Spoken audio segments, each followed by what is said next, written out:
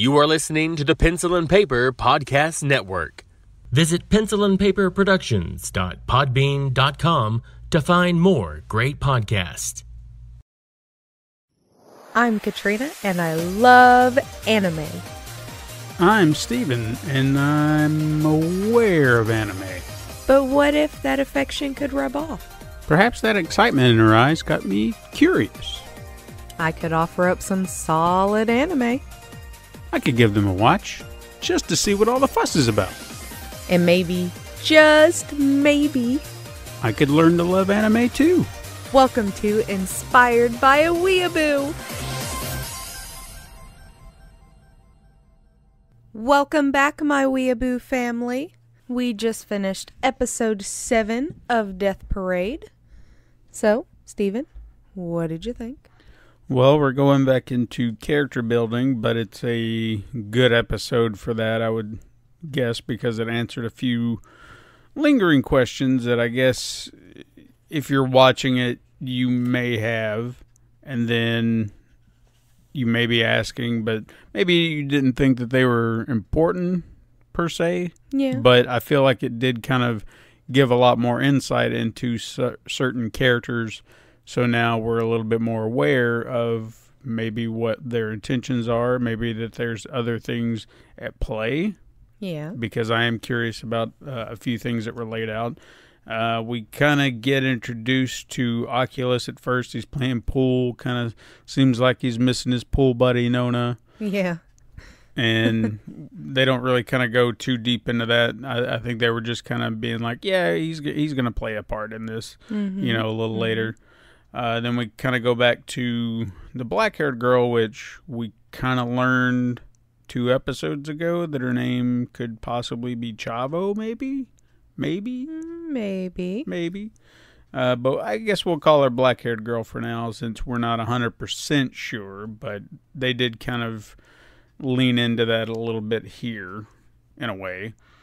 Uh, then we kind of see that uh, what was his name, Ginti? Yeah, Ginti. Yes. Uh, he's he's struggling still with the uh, lack of judgment with the girl, and I'm guessing the boy, even though we didn't see him.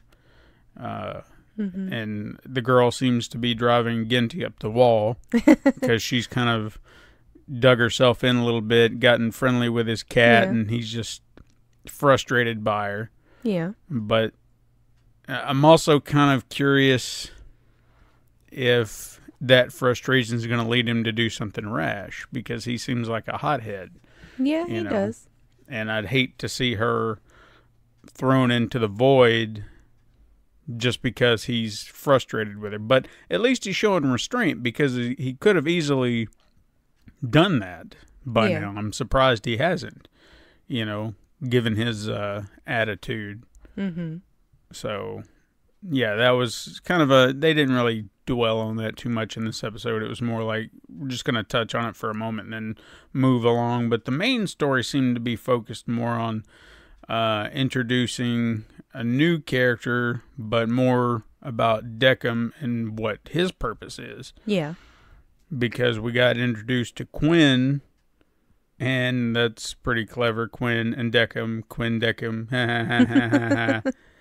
uh, but she used to be the arbiter of the quindecim. Yes. and Decim was there to replace her so she could Mhm. have a what I guess you'd say a promotion, but she didn't seem too thrilled about it. Yeah, she definitely did not seem too thrilled about it. I mean, she did at the beginning, but I guess after, I think they said he has been the arbiter for, uh, on the Quindecim for five years. I think is what it said in one of the other episodes. Mm-hmm. So, I guess five years at her new job, it's not all sunshine and rainbows like she thought it was going to be. So, Yeah, because they said that she's uh, condensing memories, right? yes, So are the memories she's condensing? Is that what she's sending to the arbiters? yes, Okay, so she's trying to to make their jobs easier, I guess in a way. Well, that's how they get, you know, I guess pretty much the information Right. that they get. So she is part, they did say she's part of the information bureau.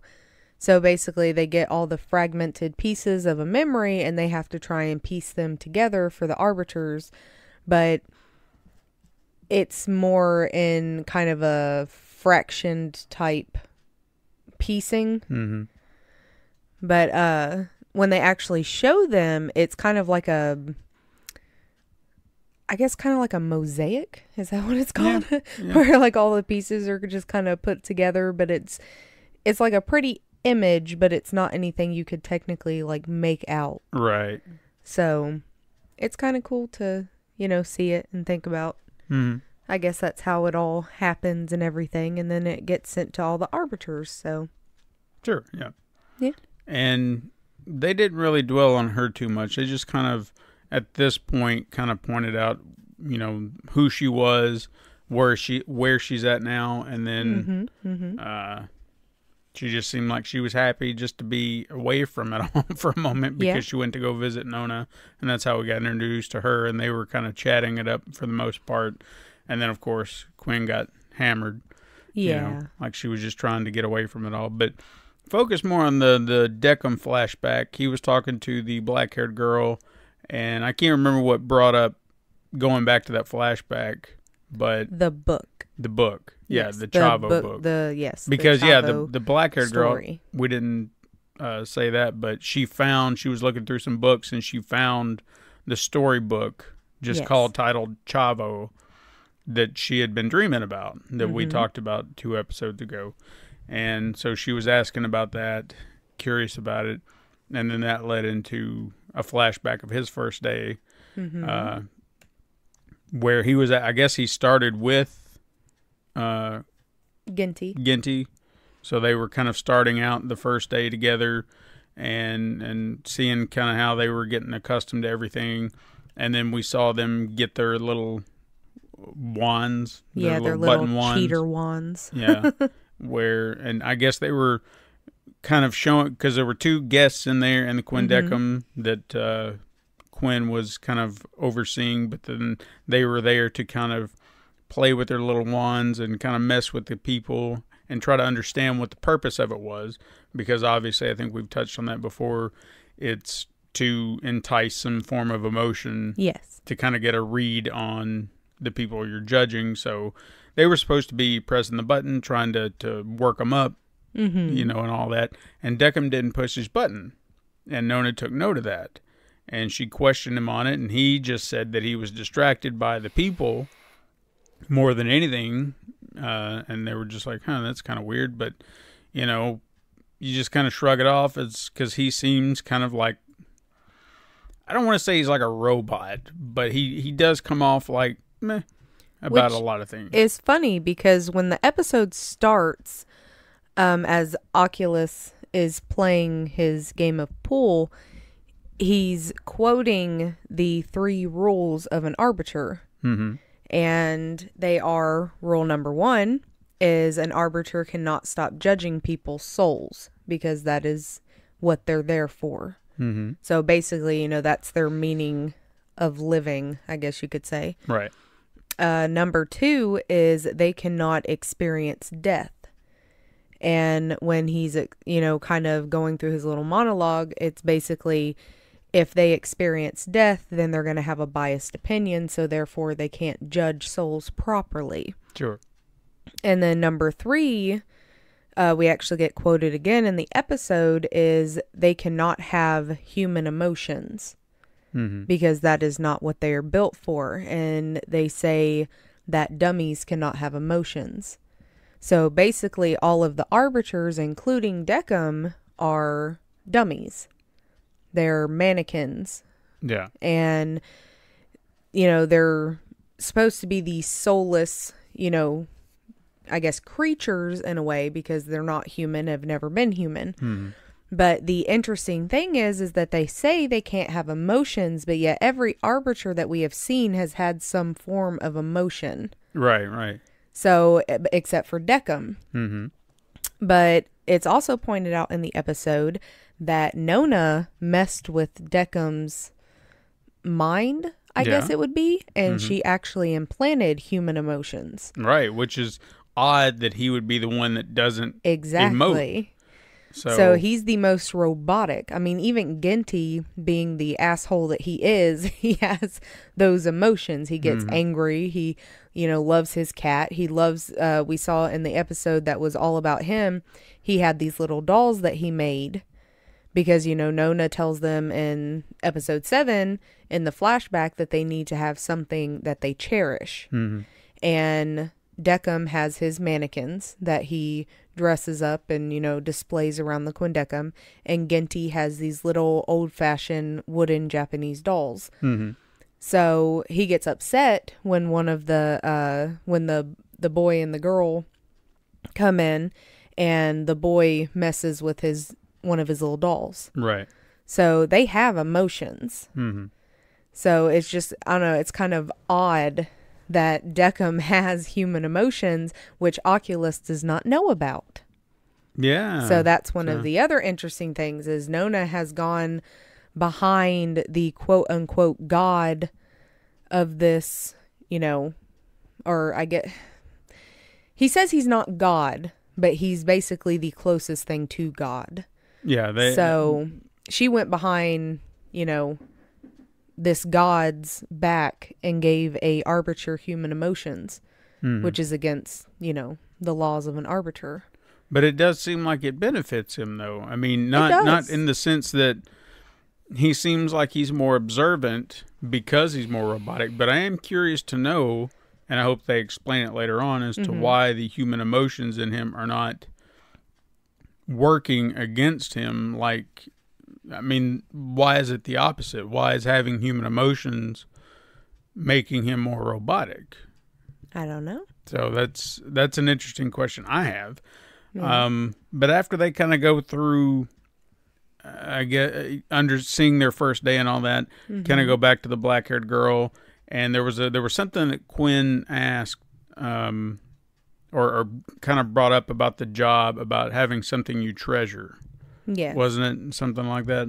A- mm-hmm. And then you know that was part of the flashback, part of the story, and then the black haired girl asked Decim, "Well, what do you treasure most?" And then we kind of go and we observe his mannequin collection that we've mentioned in the past. Mm-hmm. That he has these mannequins and freaks people out, but we find out what the mannequins are, which also kind of leads into what you were talking about with Yes. Decim being a dummy. Mm-hmm. Is that they are former guests? yes. You know, those when their bodies go either to the void or they're reincarnated, No, um, they're souls. their souls. So mm-hmm. when they go to wherever they're supposed to go, they leave behind their body, but it's a mannequin Yes, or it's, it's not whatever's really- left. I guess you could look at it as in their souls are kind of um the mannequin is like a um what would you call it? A a- husk of who yeah. they used to be. So it takes on, you know, their appearance and everything, and their souls are kind of there, but it's just a temporary body until they get judged, and then their souls leave, but the mannequin remains. Yeah. So, All the mannequins he had were former guests. yes. and he's just collected them and held them. But he had a reason. It wasn't just like, "Ooh, I love dead bodies," like I'm some devilish fool. He just said that he doesn't want them to be forgotten, yes. you know, because they used to be somebody. And I guess that could be tapping in a little bit to his human emotions. Yeah. Is that he feels that it's wrong for them to be forgotten. They used to be somebody. Yeah. They had their judgment, but they shouldn't be forgotten.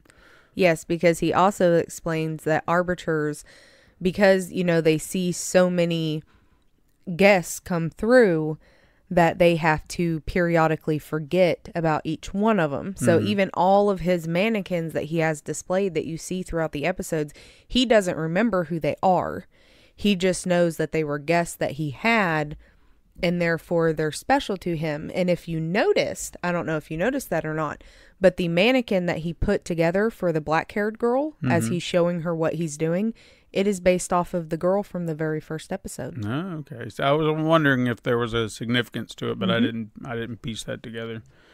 But uh, he mentioned that he had, you know, respect for humans in this regard, and I thought that was. He has respect for humans who have lived a fulfilling life. right, right, right. So it's it's an interesting. It there's a lot to that when you start to put all the puzzle pieces together as to Yes. why he's been doing this, what he's been doing, and then learning facts about him just being kind of a I don't want to say a pawn, but I kind of feel like he is in a way. Like Nona's doing this for a reason. She's she's put all this together for a purpose. Mm-hmm. So he is kind of a pawn in her little game that she's trying to. I don't really feel like she's trying to win a game. She's she's trying to. I feel like she's trying to experiment. There you go. That's the I word I was looking for. I think she's trying to prove a point. okay. because from the way that the arbiters speak i think when uh, we saw nona and the first time we saw oculus he asked her how long she's been in charge because he's the one that placed her in charge. And she, she said it was like 86 years or something like that. So she's been in charge of the entire area for this long. And i mean she looks like a young girl. Yeah. and I mean, I can only imagine even when uh, Quin was talking, like, she got tired of it. She got tired of judging, and not tired as in, like, oh, this is just so drag. It, like, weighs on them, Yeah. you know, because they are literally the people who decide if these, you know, if these people get to live another life or if they're just going to be lost and forgotten forever. Mm-hmm.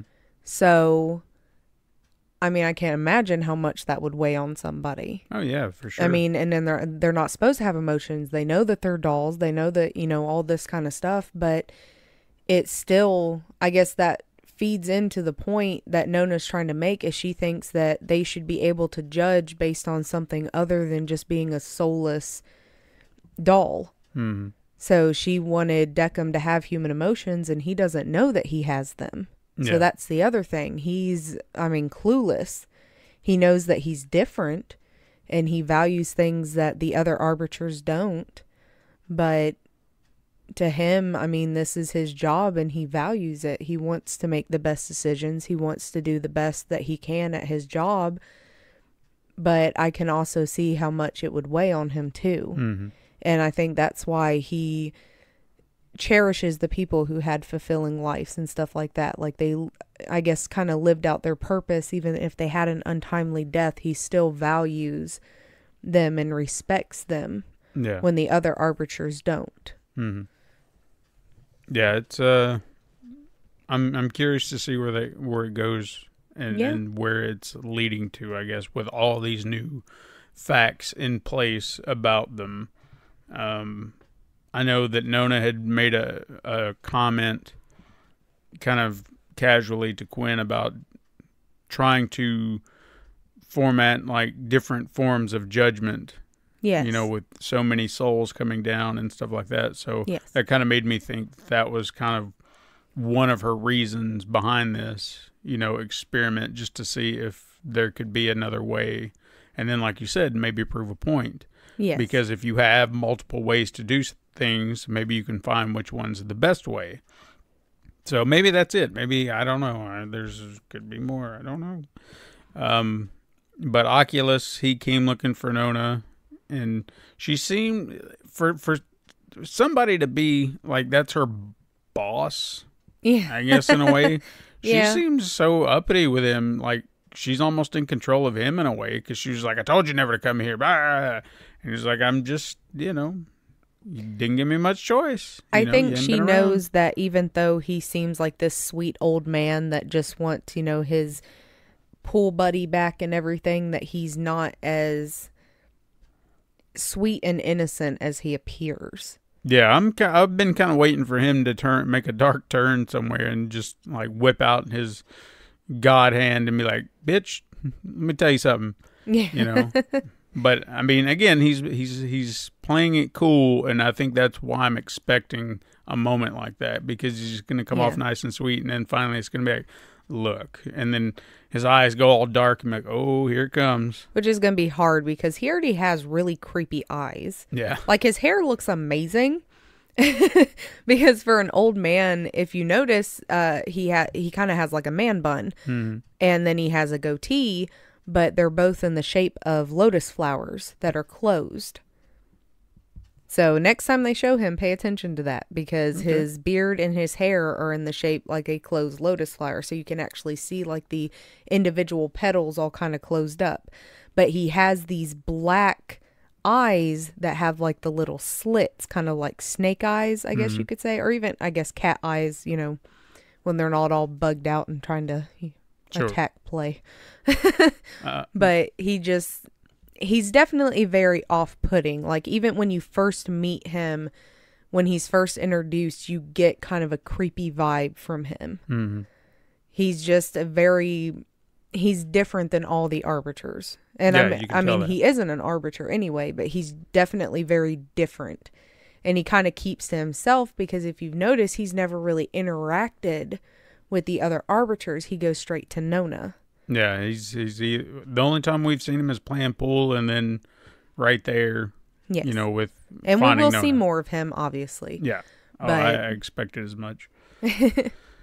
But he is. He's definitely, you just get kind of an uneasiness from him. And I think Mhm. that's where Nona's kind of standoffish, uppity attitude comes from, as she knows him.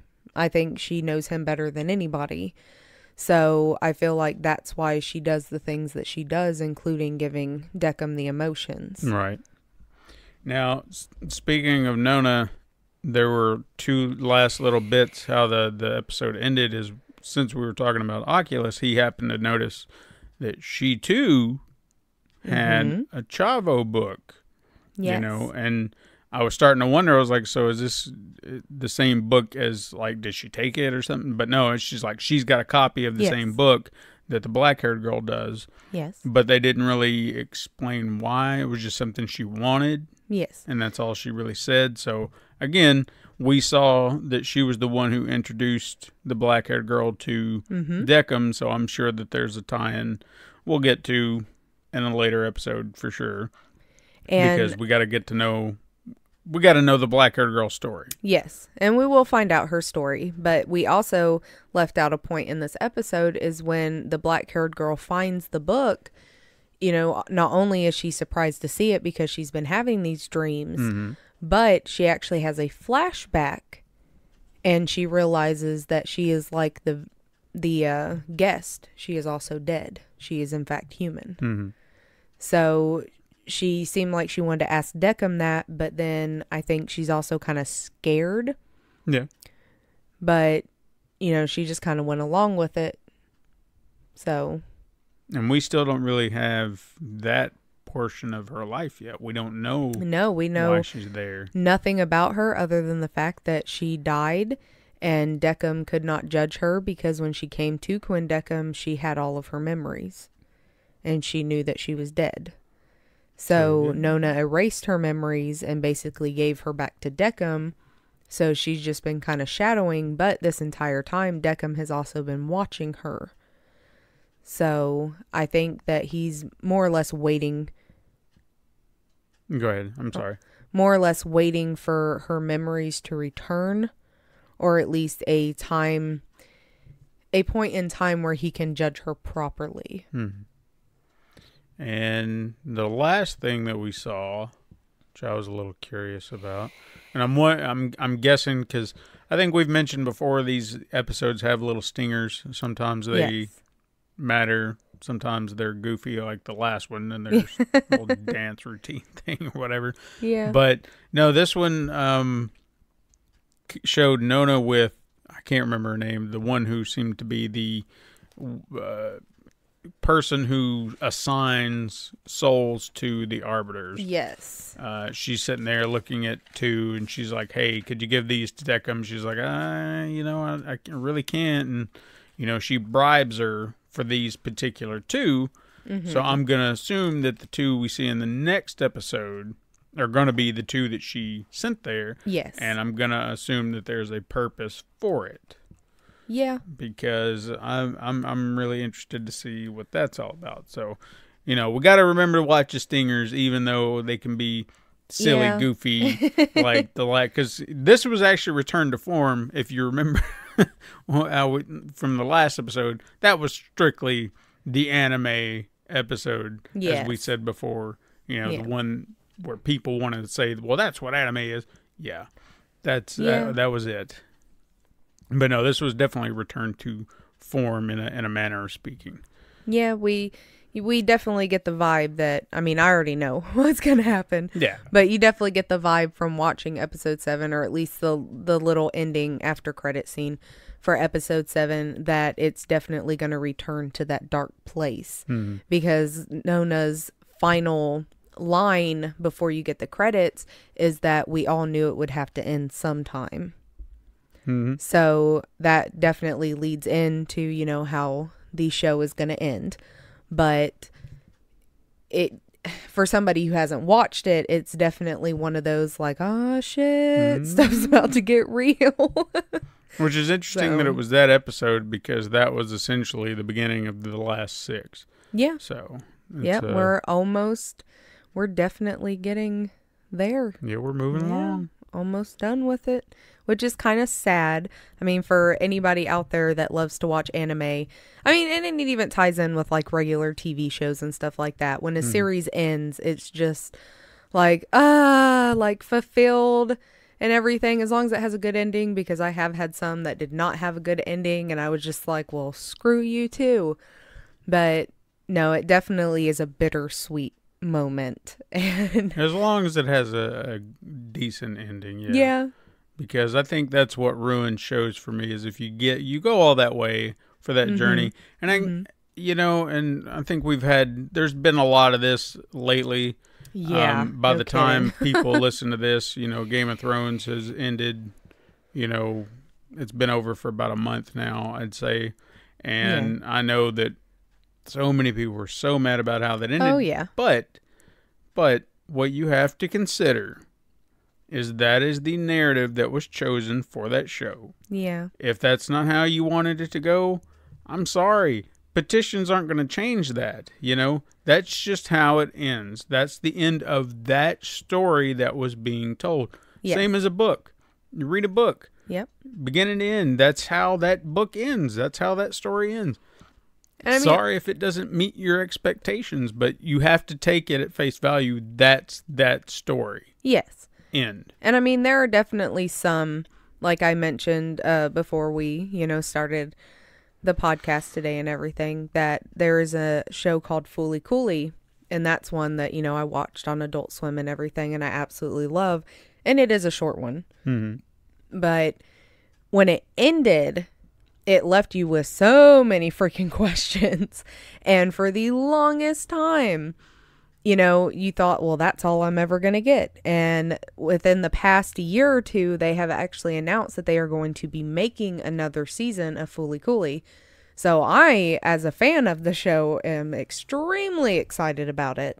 Cool. But I mean, with this one, I mean, how it ends is We'll get there. again it's one of those bittersweet hmm. type moments because it is a good anime and i do i do really enjoy it and everything. And there are some that i have honestly i've never gotten to see the ending of because either it went off the air you know before i ever got to watch the final episodes or i haven't been able to find it in like box sets or anything like that. And as Stephen knows, but I don't think I've ever actually stated on the show yet, is I enjoy I do enjoy anime. I freaking love it. But I refuse to watch it with subtitles. yeah. See, and I know I'm going to get shit for it. But I love the American voice actors. And that's nothing against like the original Japanese casts or Yeah. Korean casts or anything like that. It's just it's something I enjoy and I feel like when I have to watch it with subtitles, I'm not one of those people who can like multitask when I'm watching something. So I feel like I miss things if I'm having to try to read really fast, you know, really fast script and mm-hmm. everything going across the screen. So I feel like I miss a lot of it, but I enjoy so many of the voice actors that I've heard through so many different animes. And to me, that's what I enjoy about it. But I know, obviously, Stephen. well, now no, but but there's I can understand that to a point with Yes. anime, because with anime we're talking about characters that are animated. So Yes. if you've already gotten accustomed to who they are to you in that form, that's Yes. that's understandable. For me, trying to argue in favor of sub of subtitles and the original Japanese uh, soundtrack, so to speak, is with Godzilla movies. Mm-hmm. I'm used to the actors. I see the actors, but I know that's not their voice. Yes. So I, w- I was curious. I've always been curious, you know, growing up with dubs and everything like that. So mm-hmm. when the original Japanese audio was available, I wanted to hear it Yeah. because I wanted to know what these actors sounded like, what they really sounded like, because I never knew. Yeah. So it's interesting for me, and and I feel like more personal for me to to know these actors in greater detail Yeah. for their work and hear them in their natural form versus animated. I understand that. I Yeah. get that. So animated doesn't really bother me as much, but if if you're watching real actors, I feel like that's a necessity to relate to them and to connect with them as opposed to a floating voice that's really not theirs. yeah. So I I, I can understand that. I get it. And I mean, as we have discovered from a a cartoon that, you know, was not originally in um English, which would be Digimon. Mm-hmm. And as we discovered, I mean, obviously a lot of like the subtitles and stuff like that, a lot of um Japanese words don't translate com- like don't translate properly or at least it's not it's not the exact same thing. And plus, I feel like in Japan they are a little bit more lenient Yeah. about their uh, content, so to speak, Yeah. because they're not automatically saying, "Well, this is this is for little kids. We're we're making this for children and stuff like that." So Netflix had this is years ago, and it might still be on there.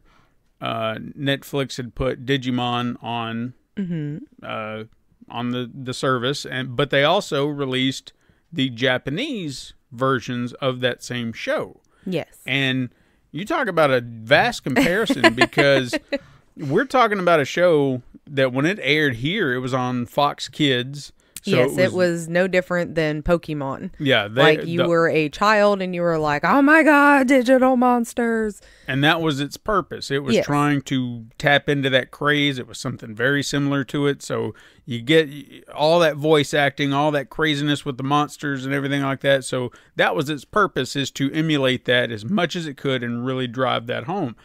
But as we were watching, because I was watching with some sort of intrigue because Yeah. we had the Japanese version at our disposal, and I knew mm-hmm. that you know subtitles was going to be one of those things that I'd have to argue over. but Yeah. I knew I was curious. I was just like, this. I want to know how much they actually kept in you know the content together, and I'd say for the most part, a lot of the beats were similar Yes. but dialogue, scene placement, things like that, they changed. One in particular, and I knew this for a fact when I saw it, and this is where we're going with this. It's a long, Yes, drawn out is- way to tell you the story. But, But I just wanted story. you to be aware. there was an episode we were watching, Mm-hmm. and in the episode, and I wish I could remember the characters' names, it was the main kid and his little uh, T Rex buddy Yes. and they had to like they were in a, a house together haunted house or something like that and then you kind of it was like oh i'm scared. I gotta go to the bathroom something like that. Or one of the kids said he needed to go somewhere so they walk in there and they're talking and just kind of bantering about but then one of the bad guys is hiding in one of the stalls and then they're just all the the two main characters are doing is just talking about oh i'm so scared in here. Oh what are we going to do? All that stuff. And then they cut back to the main guy or to the bad guy and he just makes this distorted face out of the blue. Well, then- as you if you recall, the uh, T Rex little Digimon is using the bathroom, so make sure you. You okay know, say well that, he's yes, supposed he to be using the restroom Yes, but he's again in they the don't bathroom. They're still talking. yeah but they But, don't yes. they don't acknowledge it by anything but hey they they just went to the bathroom Mm-hmm. but anyway dude just makes a face out of the blue bursts out and they're like oh my god it's the guy and they just freak out and I was just there was something about that reaction was like that is an odd reaction for how that scene played out. Yeah. So I was like, I bet you somebody ripped one. Let's go. Let's go. And so I found that particular episode in the Yes. Japanese dub. You go back to that scene, plays out completely differently. You go back in there. The Digimon has to go to the bathroom, and he is taking a shit, and it's just raw. He's like Going on about how it's like, you know, it's so bad Yeah, and you know, like, "Oh his my belly God, I can-" hurts and all this kind of stuff. So I mean, some pretty rank humor at that point. Oh yeah, it's got all kinds of nasty sounds and everything and it's oh it was great. And then we cut to the bad guy making that face, and it all makes sense. It was like, that's, yeah, of course, because Yeah. he's having to sit there and smell that because he's trying to be sneaky, and then he has to sit there next to the stall with all that noise going on. It's probably pretty rank. And then he bursts out, like, oh my God, I can't take this anymore. Yep. So it's interesting if you can find that. And it made me want to go and watch the entire Japanese series at that point because I was like, what else did they change? Yeah. You know, I wanted to know that. I was curious because it's completely different. So I find that more fascinating sometimes, but I I appreciate it more if they'll keep to it. But I understand they couldn't have done that on Fox Kids. Yeah. They couldn't have done that. So Obviously. I mean, I, they could, but they'd be like, you'd have mad parents. Why are you playing such terrible noises? My kid doesn't need to hear that, Yeah. or whatever they'd say at the time. I don't know. You know, I mean, that is, I mean, with that one, again, it's one of those things where, you know, you can kind of understand it because it is directed a lot more towards children. But most anime is not. Even when it looks bright and bubbly and you're like, oh, my child would love this. Make sure you do your research. Make Mm-hmm. Yeah. sure you actually look into it, look at the rating. I mean, everything, because you'll have these bright, bubbly, beautiful animes and it gets dark twisted or it gets sexual. I mean, it yeah, yeah, I mean, nothing against Japanese people or anything like that, but they do have a lot more of the sexual type things and stuff like that in their animes. They do get very dark. They can get bloody. They can just get off the wall, just gruesome. but I think that also speaks to our difference in culture. It because does. how they allow that and they're not afraid to touch on it. Because you go to any other country in the world, and sex is not taboo like it is here. Yeah. Here, it just like we can't talk about it. Can't talk about it, even though it's a natural part of the Yes. world. You know, people have sex. That's that's life. Animals Mm-hmm. have sex. We know this for a fact. Uh, so, but everywhere else, they're like, yeah, it, it's that's life for you. Yeah. But here we we have to hide and we have to shame anybody who who does certain things. So I find that fascinating as well. That why we have chosen to make it taboo versus you know just saying you know get over it. That's life. Sadly, I think a lot of it has to come down to religion, but we're not going to get into that. nope, nope. That's not. but no definitely i mean there's there's very few anime that i've watched that i i guess that it was so dark that i couldn't continue watching it Mm-hmm. and there's one in particular that i started watching the first season and within like the first few episodes i just couldn't bring myself to watch it anymore. Wow. and it was one of those it was um i'm trying to remember if i remember the name right. I want to say it's fate stay night but i don't think that's right. It was about uh basically people like regular humans get um fighters that are from the from history hmm like uh the main one is um oh what's his name I don't know. or her name. It wasn't a he, it was a her. Uh, Joan of uh, uh, uh, no, Oh. no, it's a he in history, Ah. but she's actually a she. It's it gets into so much more. Uh, King Arthur, Ah. isn't that who had the uh, sword? Yeah. That yes, Excalibur. Gotcha. There we go. And they have to fight to the death for the Holy Grail. And basically, if they get the Holy Grail, it's like you can make all your wishes come true and everything else. Well, one of the fighters, this young boy, gets one, and he's, I think he was like a clown or something like that, and he was uh, or clown esque, but he was like a serial killer. And you you know you get the vibe that there are kind of good ones, and then there are just like really fucked up fighters. And he comes down into like this catacomb uh, where his fighter is, and all you see are dead children and I'm talking like little bitty kids that this fighter had kidnapped and killed, and I mean they're just dismembered and everything. And it was that episode where I was like, nope, I can't do it anymore. like it, I I can't, as my husband knows, I don't like watching a lot of regular movies or TV shows or anything like that where children die. Like it kills me, it makes me cry, and I just don't want to do it. And even with anime, there's very few that I can watch where like little kids die and stuff like that, and like I can continue on with it. But that one, just seeing hundreds and hundreds and hundreds of these bodies and everything just laying around, I just, I could not do it anymore. And, And they've see- come out with other seasons, and I have refused to watch them because of that. So, I mean, there's I'm sure there's people out there. I know people who have watched them and love them and everything like that, but I just I cannot do it. Now, in regards to what she's talking about, I mean, I can, I can do it. Um, I don't have that knee jerk reaction that I have to cut it off, but I feel like don't do it just for the sake of shock value. Yes. If you, if it needs to happen in the story, it better service the story because I've noticed certain uh, movies or things like that. It'll just kill a kid just to kill a kid, and it's like, well, what purpose did that serve? You know, like one movie that I, I hold in high regard that I feel like it serves a purpose to the story in a way, and this there may be others, but this is just the first one that comes to mind most of the time. Is uh, the original Assault on Precinct 13 by John Carpenter. There's a scene in there, a little girl's trying to get uh, an ice cream cone, and you know her father's just waiting for her to go talk to the ice cream man. The entire city, if you don't know, is like being overrun by criminals and stuff like that. They had just taken over this ice cream truck. She didn't know, and then this lunatic just shoots her for no reason. So what that does is the father sees that and he goes into panic mode and he goes chasing after him, you know, because they just killed his daughter.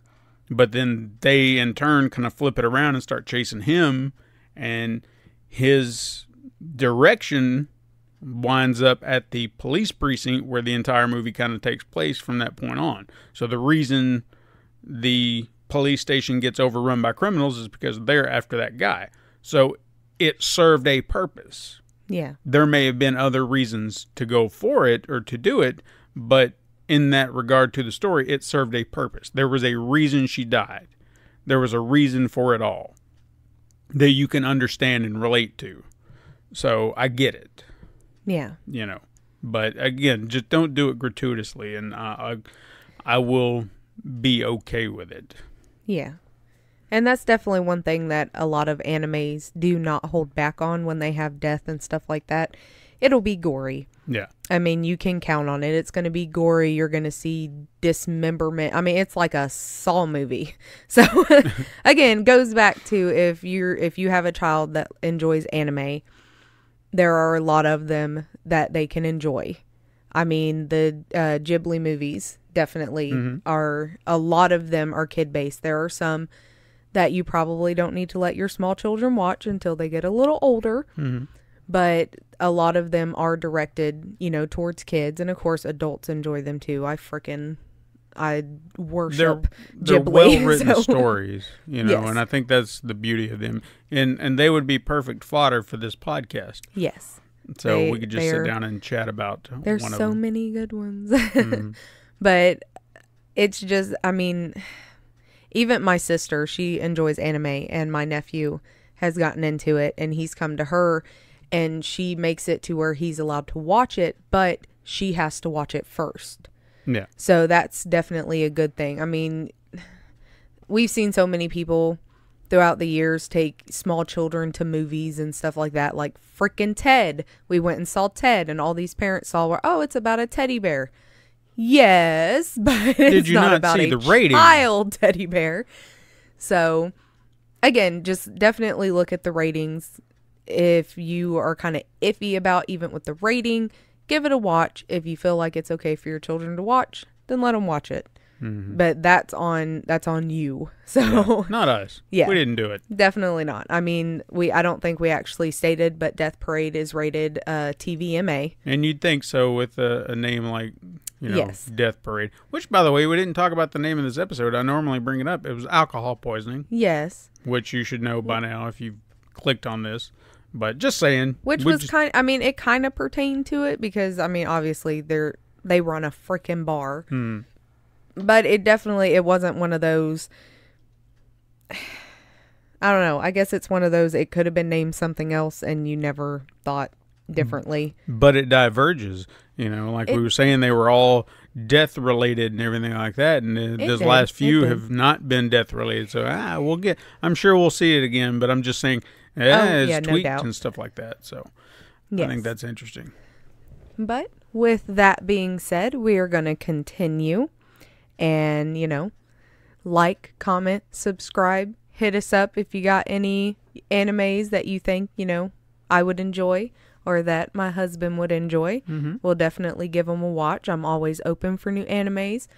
And yeah, so got anything else you want to say there? Well, uh, if you are loving this podcast, you want to show anybody or point them in the direction of this podcast, tell them to find us on the Pencil and Paper Podcast Network, found on Apple Podcasts, Podbean, Spotify, Google Play, Stitcher, and even on YouTube.com slash Pencil Paper Productions. Yes. And like always, my Weeaboo family, we are sending you much love.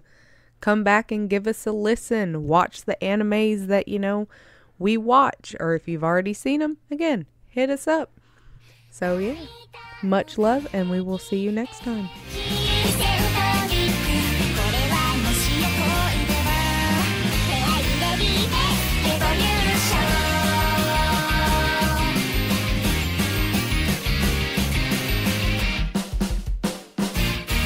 This has been a Pencil and Paper Podcast Network production.